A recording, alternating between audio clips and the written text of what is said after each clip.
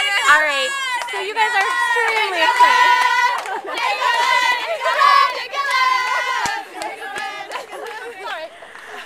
How are you feeling right now?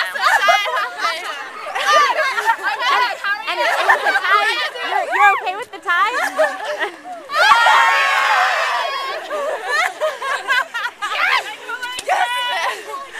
So what what's gonna happen next? So well, we're gonna go. Five groups. So, so who's next? All right. Thank you very much.